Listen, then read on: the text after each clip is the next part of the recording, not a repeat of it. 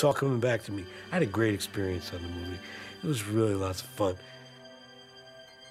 Romancing the Stone was such a perfect movie. It was a combination of a terrific script, three actors with great chemistry, and was just in every regard well made. And to get all the chemistry right in a film and to make it work is such a rare occurrence.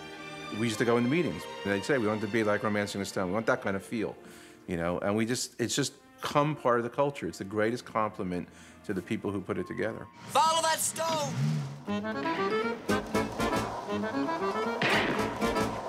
The scene that comes to mind most often is me running down the hill, shooting behind myself, which I hadn't any idea was funny. I just wanted to get the hell out of there.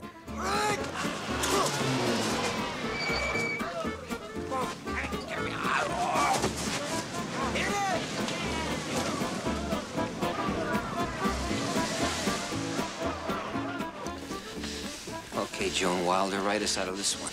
What's that great scene when, when they're at the hacienda and is this Joan Wilder? You're Joan Wilder? Joan Wilder? The Joan Wilder? You know, and I have all your books. you know. Come in. Esta es Juanita Wilder, la que escribe las novelas que le leo los sábados. Juanita. Le damos la bienvenida, ¿verdad, muchachos? Juanita, Va a ser es huésped de. Juanita. Come in. Adiós, Come in. amiga. Jump. I always love the sequence too when they end up after the waterfall on uh, on either side of the river.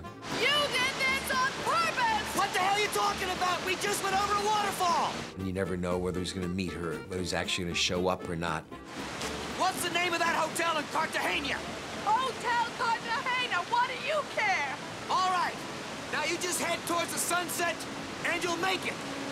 And I'll be there.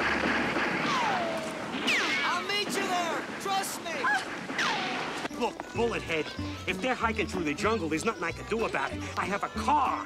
I am not Tarzan. The scene in the phone booth where I called him a maricon. You know, I went down to Mexico. I didn't know uh, what a maricon was. At that time, I was playing with the, the violin. I used to keep it with me all the time. And I was on the plane, and there were some guys sitting across from me, right? And I took it out, and I was just, you know, playing it really quietly. Like, and uh, I looked at the guy and I smiled. And his friend turned to him and he said, Maricon, right? And I didn't know what that meant. And then there was an American guy there. He says, the guy called you a maricon. So I put it in the movie. She's coming right toward the phone booth. She's with some guy. How do I know? She likes guys. So do you, maricon. The three of them together created a real permanent character type. You could co- take those three characters and put them anywhere because they've established this dramatic comedic connection with, the, with each other that will always be satisfying to watch. We all enjoy each other's company very much, and I think you can see that.